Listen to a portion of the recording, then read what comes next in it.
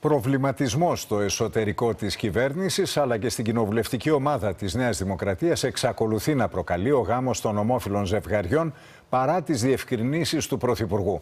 Οι απόψεις είναι αντικρουόμενες ενώ δεν λείπουν και οι δημόσιες δηλώσεις από ορισμένους ότι θα καταψηφίσουν το σχετικό νομοσχέδιο όταν έρθει στη Βουλή. Το μασάζ έχει ήδη ξεκινήσει στους κυβερνητικούς βουλευτές μετά τις δηλώσεις του Πρωθυπουργού για το νομοσχέδιο που αφορά το γάμο και την τεκνοθεσία ομόφυλων ζευγαριών. Το ζήτημα του γάμου είναι πιο αποδεκτό. Μιλάμε για πολιτικό γάμο, όχι για θρησκευτικό γάμο. Μιλάμε δηλαδή για μια αστική σύμβαση που δεν δικαιολογείται να υπάρχει αποκλεισμός ή διάκριση στη βάση του σεξουαλικού προσανατολισμού. Αυτό όμως που προβληματίζει περισσότερο και εύλογα και εμένα με προβληματίζει είναι το ζήτημα των παιδιών.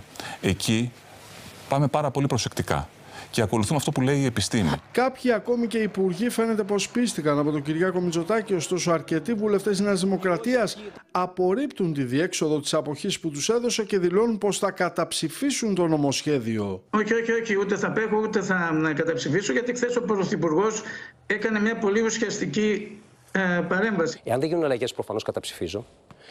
Ε, αλλά από εκεί και πέρα μπορεί κάποιοι συνάδελφοι να επιλέξουν να απέχουν. Θα το καταψηφίσω. Χθες βέβαια μπήκε στην ατζέντα και η αποχή. Η αποχή ναι. αλλά η θέση μου ήταν ξεκάθαρη και πριν ότι θα το καταψηφίσω. Η προτροπή αυτή του Πρωθυπουργού για αποχή σε όσους διαφωνούν προκάλεσε την οργή της Κουμουνδούρου και της Χαριλάου Τρικούπη, ενώ αρνητικός απέναντι στο νομοσχέδιο εμφανίζεται ο Περισσός. Ο κ. Μητσοτάκης είπε στους υπουργούς του και στους βουλευτές του μπορείτε να πάτε βολτούλα την ώρα της ψηφοφορίας. Στους επόμενους μήνες μπορεί να χαίρεται η ακραία δεξιά πτέρυγα της Νέας Δημοκρατίας. Θα έχουμε και άλλες πρωτοβουλίες, φαντάζομαι. Α πούμε, μια ελληνοτουρκική συμφωνία.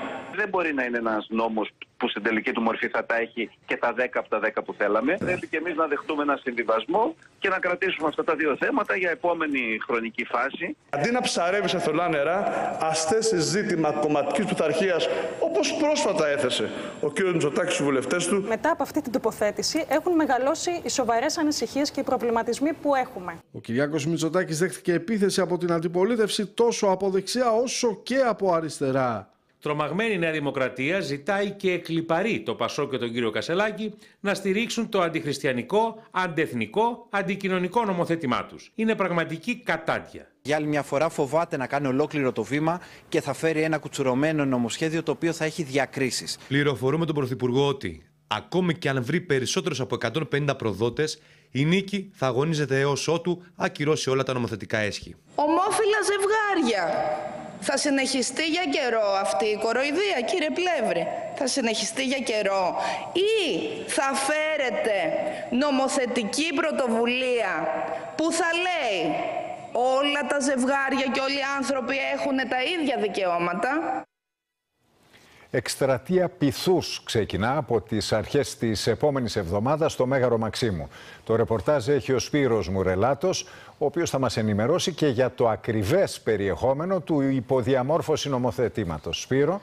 Νίκος, σε πρώτη φάση το Μέγαρο Μαξίμου θα επιχειρήσει μέσω της λεπτομερούς ενημέρωσης των βουλευτών της Νέας Δημοκρατίας να αποδραματοποιήσει το δημόσιο διάλογο γύρω από το μονοσχέδιο για το γάμο των ομόφυλων ζευγαριών. Ήδη ο Υφυπουργός παρά τον Πρωθυπουργό Γιάννης Μπρατάκος έχει επικοινωνήσει τόσο πριν όσο και μετά τη χθεσινή συνέντευξη του Πρωθυπουργού με τα κυβερνητικά στελέχη που έχουν εκφράσει διαφωνία. Στο Μεγάλο Μαξίμου διαπιστώνουν σήμερα και μετά τα χθεσινά μηνύματα του Κυριάκου Μητσοτάκη θετικότερο κλίμα στις τάξεις γαλάζιας κοινοβουλευτικής ομάδος. Την ερχόμενη Δευτέρα και Τρίτη, ο Υπουργός Επικρατείας Άκης Κέρτσος, εισηγητής στο γάμο των ομόφυλων ζευγαριών, αναμένεται να ενημερώσει τα μέλη της γαλάζιας κοινοβουλευτικής ομάδος για τις σημαντικότερες διατάξεις του νομοσχεδίου στα γραφεία της Νέας Δημοκρατίας στην Πυραιός. Σύμφωνα εξάλλου με ασφαλείς πληροφορίες του Αντένα, Νίκο, το υποκατάθεση νομοσχέδιο θα προβλέπει την πλήρη ισοτιμία του πολιτικού γάμου των ομόφυλων ζευγαριών και η επίμαχη διάταξη πιθανότατα δεν θα αναφέρεται στο θέμα της εκνοθεσίας, το οποίο νομικά συνεπάγεται για τις περισσότερες των περιπτώσεων. Αναμένεται επίσης να περιέχει μεταβατικές διατάξεις για τα ζευγάρια ομόφυλων που έχουν παντρευτεί στο εξωτερικό ή για τη μετατροπή του σύμφωνου συμβίωσης σε γάμο, Νίκο. Να ευχαριστήσω τον Σπύρο Μουρελάτο. Θα συνομιλήσουμε τώρα με τον Υφυπουργό παρά το Πρωθυπουργό και κυβερνητικό εκπρόσωπο, τον κύριο Παύλο Μαρινάκη. Κύριε Υπουργέ, καλώς ορίσατε. Καλησπέρα και ευχαριστώ πολύ για την πρόσκληση. Εμείς σας ευχαριστούμε. Θα ξεκινήσω από αυτό που λέει η αντιπολίτευση. Ε, δεν το λέει μόνο ο ΣΥΡΙΖΑ. Άκουσα να το λέει τώρα στο βίντεο που παίξαμε ο κύριος Ηλιόπουλος, για παράδειγμα, από την ε, ε, Νέα Αριστερά. Άκουσα να το λέει η κυρία Κωνσταντοπούλου. Κατηγορούν την κυβέρνηση ότι έχει κάνει εκπτώσεις ε, στο περιεχόμενο του νόμου που θα φέρει προς ψήφιση ε, για να ισορροπήσει τις εσωκομματικές αντιδράσεις. Για τον Πρωθυπουργό και την κυβέρνηση αυτή είναι η σωστή νομοθέτηση. Αυτό είναι το νομοσχέδιο που κρίνει ο Πρωθυπουργός, η κυβέρνηση, ότι είναι το σωστό, το δίκαιο και αυτό που ε, θεωρούμε ότι πρέπει να φέρουμε προς ψήφιση.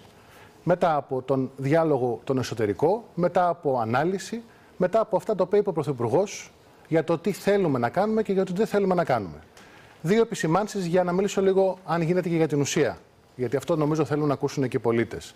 Επισήμανση πρώτη. Ακόμα και αν η αντιπολίτευση θεωρεί ότι αυτό είναι το μισό, εμείς θεωρούμε ότι είναι το σωστό και αυτό που θέλουμε να κάνουμε και δεν συμφωνούμε με τα υπόλοιπα που προτείνει η αντιπολίτευση, ας ψηφίσει και το μισό. Και όταν κάποια στιγμή κρίνουν οι πολίτες ότι μπορούν να έρθουν εκείνοι στην εξουσία, να ψηφίσουν αν συμφωνούν. Εμείς δεν συμφωνούμε με τα υπόλοιπα και τα υπόλοιπα.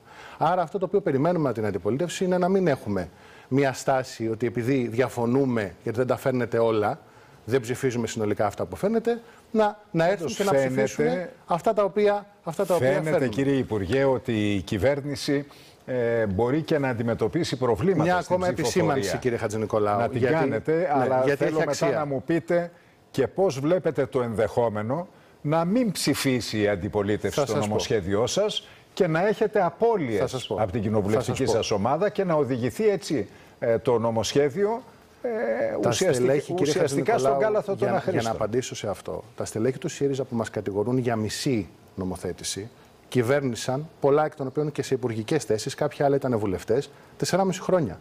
Δεν έφεραν ούτε το ολόκληρο, ούτε το μισό. Και μάλιστα είναι φοβερό, δεν έχουν περάσει πολλά χρόνια. Να έρχεται μια κυβέρνηση δίθεν ε, συντηρητική, δίθεν ακραία, δίθεν ακροδεξιά πολλές φορές, να φέρνει μια πολύ σημαντική πρωτοβουλία που ισχύει σε 20 χώρες ως προς το γάμο στην Ευρώπη και 22 ως προς την υιοθεσία ή τεκνοθεσία. Και εσύ αυτό που έχεις να πεις ενώ δεν έκανες τίποτα, είναι να μιλάς για μισή νομοθέτηση. Αλλά εγώ χτες, μετά από αυτά τα οποία είπε ο Πρωθυπουργός, βγάζω δύο βασικά συμπεράσματα. Το πρώτο είναι ότι για ακόμα μια φορά αποδεικνύει ότι υπάρχει ένας Πρωθυπουργός ο οποίος συμπεριφέρεται θεσμικά.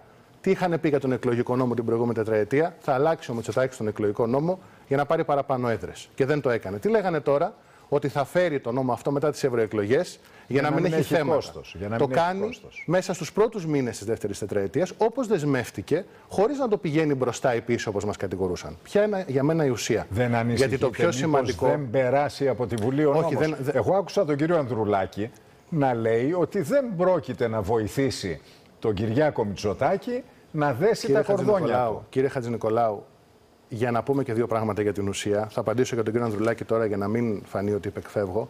Είναι απογοητευτική η στάση του. Και είναι και κατώτερη των περιστάσεων και των περιστάσεων όπως προκύπτουν από διηγήσεις ανθρώπων που είχατε στο προηγούμενο βίντεο. Αυτή τη στιγμή που μιλάμε, η δίθεν μεγάλη όλα αυτά τα χρόνια δημοκρατική παράταξη, το Πασόκ που θέλει να είναι μια υπεύθυνη αξιωματική αντιπολίτευση, σε ένα τόσο σημαντικό θέμα δικαιωμάτων, το οποίο διαχρονικά θεωρητικά θέλει να φέρει και να ψηφίσει και να υπερασπιστεί, δεν λέει ποια είναι η θέση του αρχικά, αν συμφωνεί ή όχι με κάτι. Θα το ψηφίσει ή δεν θα το ψηφίσει. Λέει πρώτα, αναπαράγει βασικά εκφράσεις μικροπολιτικές προηγούμενων δεκαετιών. Ας μας απαντήσει πρώτα ο κ. Ανδρουλάκης. Πριν προβεί, όπως έκανε, σε εκφράσεις κριτικής για την κοινοβουλευτική ομάδα ή όχι της Νέας Δημοκρατίας. Τι θα κάνει με το νομοσχέδιο; Αυτή νομίζω είναι μια υπεύθυνη στάση. Πρώτα λες τι θα κάνεις, αν συμφωνήσει ή όχι, και μετά κάνεις κριτική που προφανώς είναι καλοδεχούμενη. Και κάτι πολύ σημαντικό. Ο Πρωθυπουργός από την πρώτη στιγμή τόνισε ότι δεν θα θέσει θέαμα κομματικής πειθαρχίας. Αλλά θα πω κάτι. Μήπως συζητάμε. αυτό ενέχει κινδύνους, Συζητάμε, κύριε κύριε Μαρινάκη, Χατζηνικολάου. μήπως κινδυνεύσετε να μην συζητάμε περάσει για ο κάτι. νόμος; Θεωρώ, θεωρούμε, αισιοδοξούμε ότι θα περάσει γιατί; Ούτε και προέκυψε. για τους υπουργούς, προέκυψε ούτε για τους υπουργούς Για τους πειθαρχίας. υπουργούς απάντησε ο Πρωθυπουργός ότι εφόσον συμμετέχουν, που συμμετέχουν στο Υπουργικό Συμβούλιο που εγκρίνει νομοσχέδια, έχουν μια αυξημένη θεσμική υποχρέωση. Συζητάμε όμως για κάτι. Γιατί αισιοδοξούμε ότι θα περάσει και θέλουμε να το συζητήσουμε αυτό με τους πολίτες με νυφαλιότητα, χωρίς να διχάσουμε, αλλά με το να ενώσουμε. Συζητάμε για τον πολιτικό γάμο, κύριε Χατζη Νικολάου, ενώ αυτή τη στιγμή που μιλάμε ισχύει το σύμφωνο συμβίωσης, δηλαδή από ένα συμβολιογράφο, ένα σύμφωνο συμβίωσης, πάμε στη δυνατότητα ενός πολιτικού γάμου σε ένα δημαρχείο και συζητάμε για κάποια παιδιά τα οποία υπάρχουν και τι ισχύει σήμερα που μιλάμε; Σήμερα που μιλάμε ένας άντρας ή μια γυναίκα, από το 1946 ισχύει αυτό, μπορούν κατά μόνας να υιοθετήσουν ένα παιδί. Ο ίδιος άντρας ή η ίδια γυναίκα μπορούν να συνάψουν σύμφωνο συμβίωσης εδώ και κάποια χρόνια και να μεγαλώσουν μαζί αυτό το παιδί σε ένα σπίτι. Αν όμως φύγει αυτός ο οποίος αυτή τη στιγμή είναι ο γονέας του παιδιού αυτού, το παιδί αυτό πιθανότατα θα καταλήξει σε ένα ίδρυμα. Άρα, το επιχείρημα που κάποιοι, χωρίς να έχουν ενημέρωση, έλεγαν Δεν θέλουμε αυτοί να μεγαλώνουν παιδιά, που εγώ δεν το καταλαβαίνω γιατί απριόρι αυτοί είναι ακατάλληλοι για παιδιά ή όλοι οι ετερόφιλοι είμαστε κατάλληλοι για παιδιά. Όλοι κρινόμαστε στην πράξη. Είναι πολύ βαριά η ευθύνη του γονέα. Αυτό το οποίο λοιπόν κάποιοι δεν θέλουν και γι' αυτό πρέπει να το εξηγήσουμε με ηρεμία στους πολλέ, συμβαίνει. Αυτή τη στιγμή δύο άντρες ή δύο γυναίκες μεγαλώνουν παιδιά. Το θέμα είναι λοιπόν να ρυθμίσουμε αυτό το πλαίσιο και κάτι πολύ σημαντικό. Τώρα η πολιτεία κρίνει αν κάποιος ή κάποιοι είναι άξιοι για υιοθεσία κατά μόνας. Είτε ένας άντρας είτε μια γυναίκα, ένα ετερόφιλο ζευγάρι. Αυτό, με τη νέο με συγχωρείτε πλαίσιο για θα τη κρίνουν και διακοπή. τους δύο. Ναι, με συγχωρείτε για τη διακοπή. Αυτό πρέπει να το δείτε συνολικά το θέμα της υιοθεσίας. Βεβαίως, βεβαίως. Και για τα ετερόφιλα ζευγάρια και για Μα τα προσέξτε, ομόφυλα. μα προσέξτε. Διότι γνωρίζω πάρα πολλά ζευγάρια χρόνια παντρεμένοι άνθρωποι, αξιοπρεπέστατοι, Ακριβώς. που έχουν και τον τρόπο να μεγαλώσουν ένα παιδί και δεν μπορούν Κοιτάξτε, η κυβέρνηση έχει και μένουν καταφέρει τα παιδιά σε ιδρύματα, σε με, κάκιστες με την πολιτική συνθήκες. που εφάρμοσε την προηγούμενη τετραετία Πρέπει να, να το μειωθούν, ξαναδείτε, να κύριε μειωθούν πολύ Υπουργέ. τα παιδιά που είναι στα ιδρύματα και αυτός είναι ο στόχος μας. Και αυτό που λέτε τώρα είναι η φιλοσοφία της νομοθέτησής μας. Ποια είναι, ισότητα. Εμείς μιλάμε για ισότητα στον πολιτικό γάμο και κατ' επέκταση ισότητα στα δικαιώματα των παιδιών. Δεν υπάρχουν, κύριε Χατζηνικολάου, παιδιά πρώτης και δεύτερης κατηγορίας. Πραγματικά, αν κάποιος δει αυτό που θέλουμε να κάνουμε και αυτό που δεν θέλουμε να κάνουμε, εμείς δεν μιλάμε ούτε για υποβοηθούμενη αναπαραγωγή, ούτε για αλλαγή στο καθεστώς του πατέρα και της μητέρας, που είναι ιερές λέξεις και δεν θα τις αλλάξουμε με γονέας 1 και γονέας 2. Αν κάποιος δει με ησυχία, με ηρεμία, τι ισχύει σήμερα και τι πάμε να ρυθμίσουμε, βέβαιος ότι ενωτικά θα προχωρήσουμε και θα ψηφιστεί μια σημαντική παρέμβαση. Σας ευχαριστώ Να είστε θερμά καλά. κύριε Υπουργέ.